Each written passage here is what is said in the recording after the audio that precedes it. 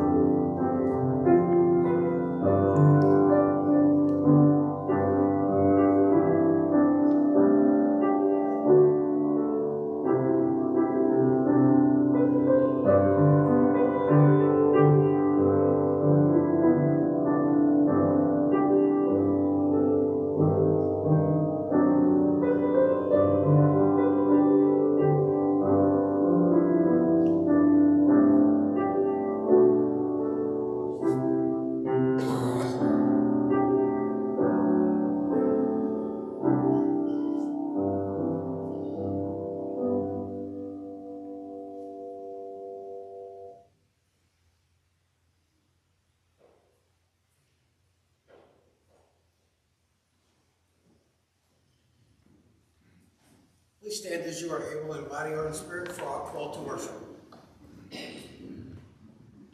We are pulled in many directions. Many duties and tasks seek to lay claim on our lives. This day in this place, let service to God be our choice. This day in this place, we open our hearts and spirits to God. Blessed be the God of creation who has called us here. Praise be to God who sustains and nurtures our lives. Amen. I invite you to remain standing as you're able in body and or spirit for our gathering hymn, God is Here, verses 1, 2, and 4.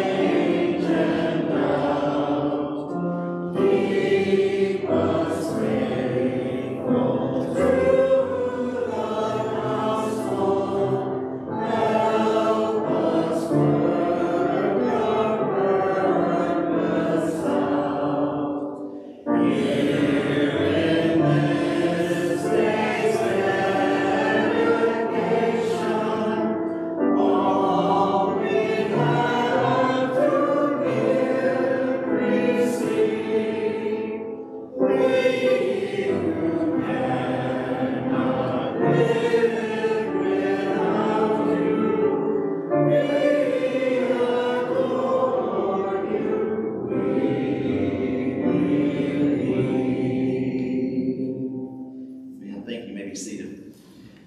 Now is the time in our service where we give of our tithes and offerings. I will remind you if you have a joy or a concern that you would like shared, please drop that in the offering plate when it is passed by you this morning.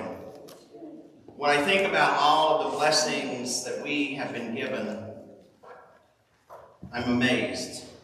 The very breath that we breathe is a gift from God, and there's no way that we would ever be able to give back in the same proportion what has been given to us. But I do invite you to take some time of discernment this morning and prepare your hearts and minds and give back this morning with grateful and cheerful hearts.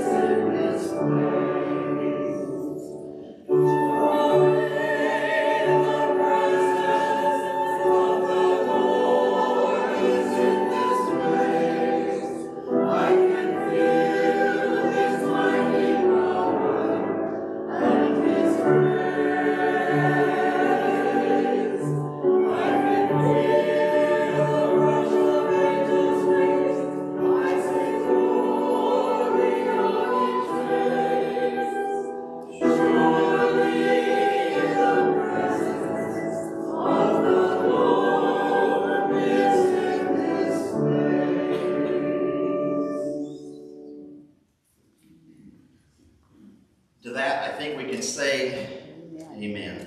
Amen. I invite you now to join in our prayer of dedication. Blessing upon blessing has been given to us, O Lord, from your great bounty. Now we return these gifts to you. Bless these gifts and the lives that they represent and cause them to work for you in this world which you have loaned to us.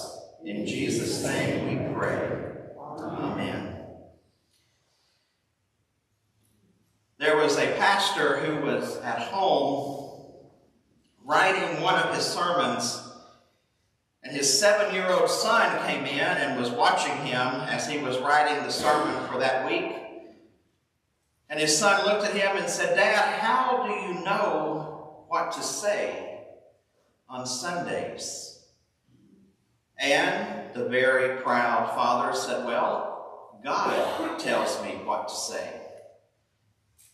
And then the little boy looked very innocently at his father and said, Then why are you marking so many things out? A very good question. Let's pray.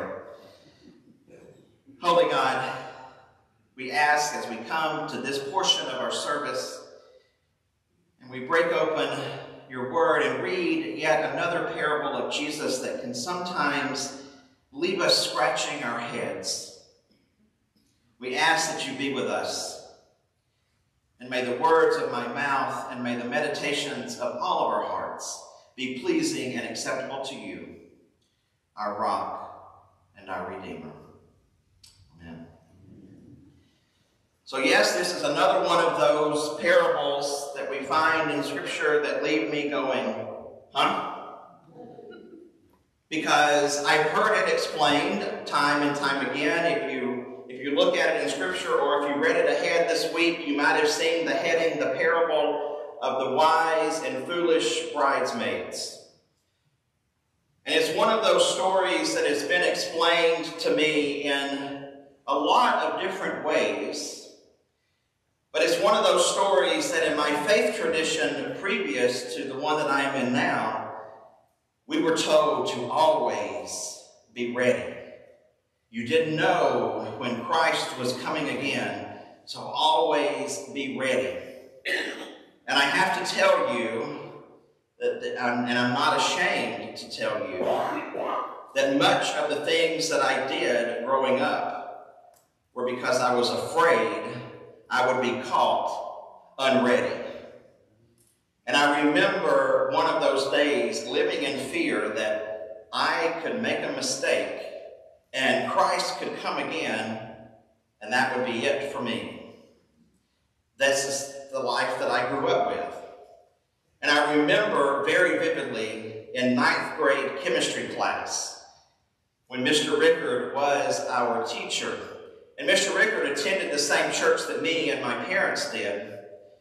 And I hated chemistry, probably worse than algebra. it didn't make any sense to me, and I didn't think I would ever use it. And I have to say that I very rarely have used any of the things that I learned in chemistry. But Mr. Rickard was a very, very good teacher, but he was very, very tough. And we had a test on this particular day, and I was as prepared as I thought I could be. Mr. Rickard passes out the test, and he leaves the room. He says, I have to go to the office. Well, you know what that caused in the class. As you can imagine, whispers were going around. People were sharing their answers. People were looking in their textbooks. And somebody even went to Mr. Rickard's desk to find his answer key. I didn't do any of that. And I would like to tell you that it was for altruistic reasons, but it wasn't. It was for two reasons. Number one, Mr. Rickard would tell my parents. And number two, literally, I thought to myself, Christ could come again. And I have been caught cheating on the test. So I sat at my desk with my head down, trying my best. And Mr. Richard, Mr. Rickard comes into class right before the end of class, goes over to the filing cabinet, picks up a box, and there is a video recorder. and he says, I'm going to teach you all a lesson about integrity that means more than chemistry. And he played the video, and all I could think was, thank God I didn't do anything. But again, it wasn't for altruistic reasons that I didn't do that. I lived in fear because of the way this particular passage had been explained to me. That if I didn't have enough oil in my lamps, if I hadn't done the good things that I was supposed to do and Christ came again, then I would be damned. And that is not a happy life to live, living in that constant fear. And I'm so thankful that over time and after unlearning a lot of the things that I was taught growing up, there's a certain sense of freedom in knowing that there's a different way to look at this particular passage. So I invite you into our reading this morning of Matthew 25, verses 1 through 13. Jesus says, Then the kingdom of heaven will be like ten bridesmaids who took their lamps and went to meet the bridegroom. Five of them were foolish, and five were wise. The five who were foolish didn't take enough olive oil for their lamps, but the other five were wise enough to take along extra oil.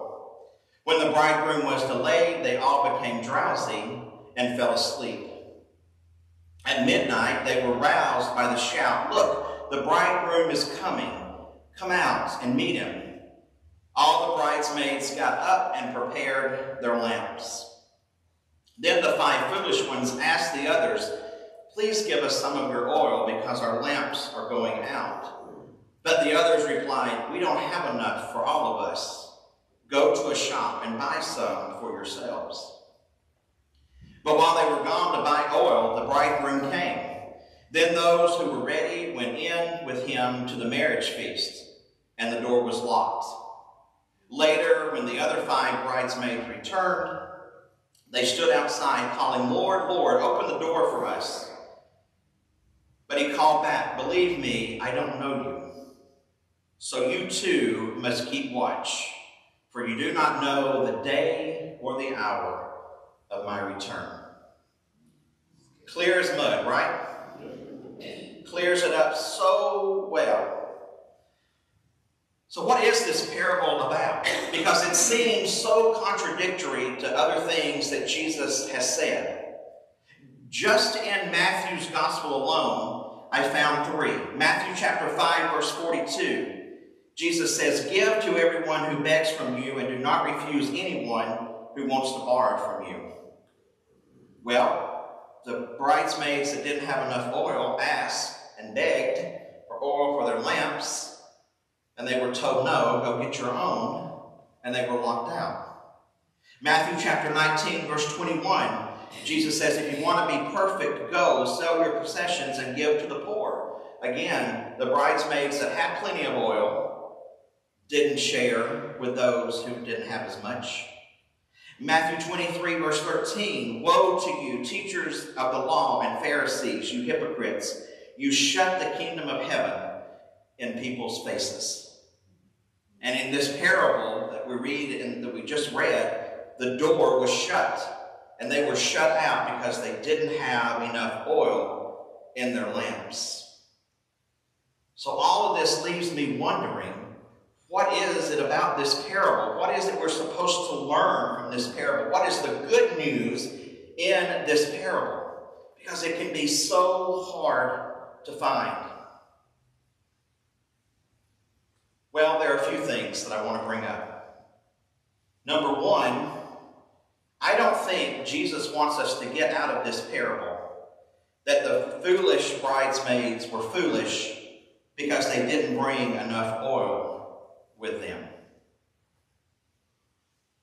I don't think it's because they weren't prepared for the bridegroom. I don't think it was because they went to sleep, because the parable says all of them went to sleep, even the ones who had plenty of oil. And it's getting close to midnight when they get aroused. So I don't think it has anything to do with being prepared with enough oil.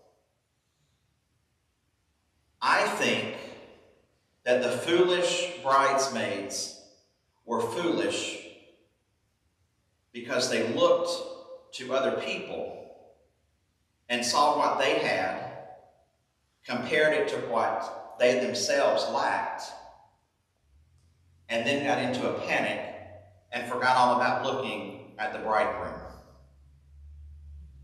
The bridegroom was coming. They were aroused and awakened in their sleep. So whoever aroused them from their sleep close to midnight had to be able to see the bridegroom coming in this story. So the bridegroom must have had a light. And so he, whoever it was that shouted the bridegroom was coming and aroused all of the bridesmaids would have been able to see that light as well. But these foolish bridesmaids, as they're described in here, instead of looking at the light from the bridegroom, looked at what they lacked. And they began to panic. And so they go to those that they consider to have more and ask for oil for their lamps. They didn't think they were enough. They didn't think they had enough. And sometimes, don't we do the same?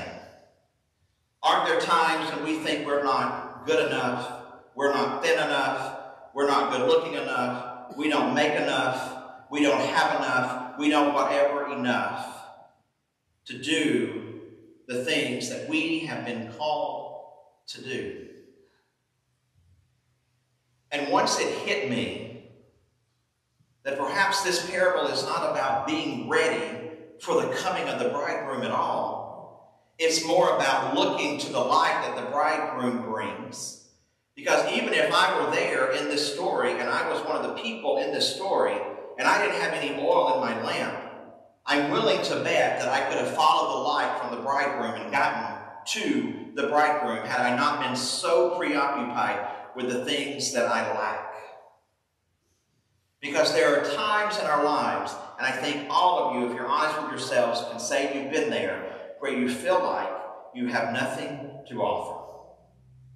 Maybe you feel like you don't have anything to offer in a community of faith, or maybe you have felt that way in the past. I know I certainly have.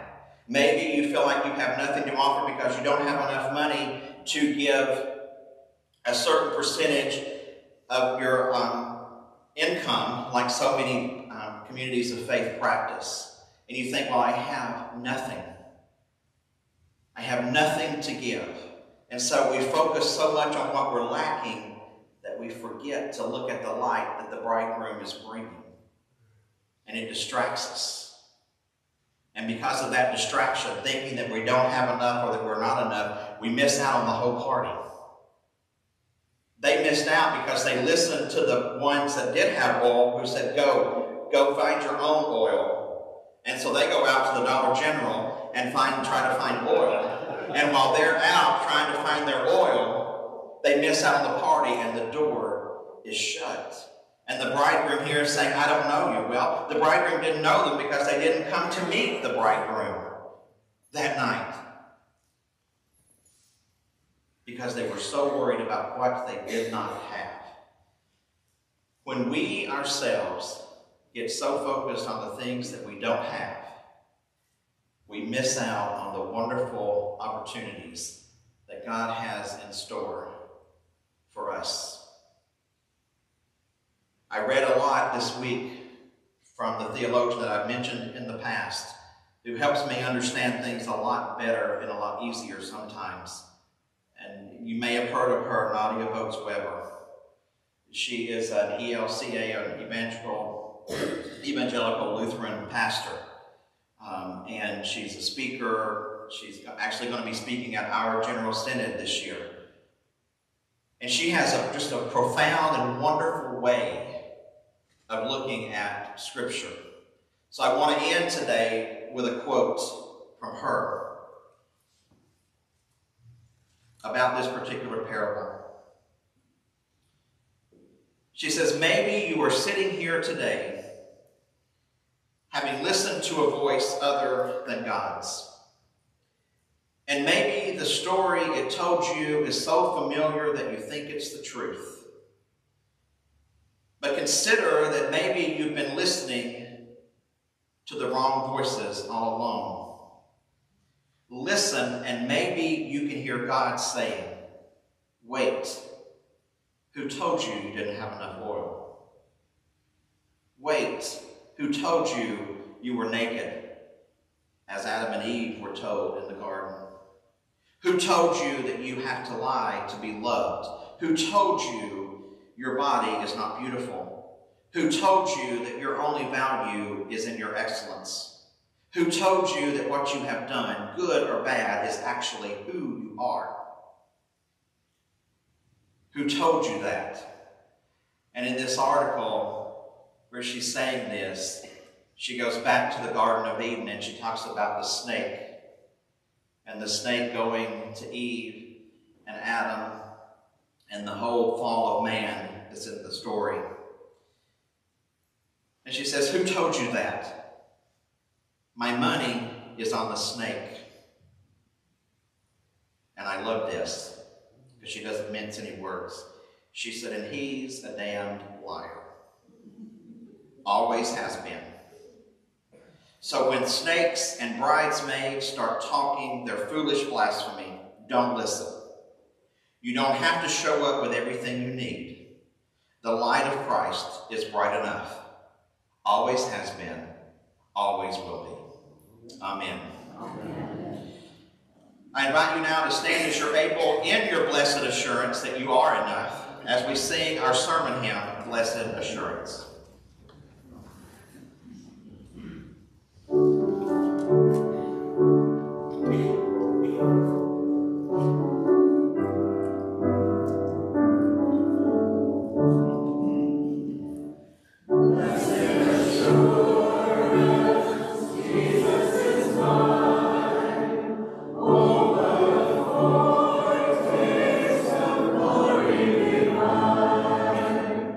Yeah.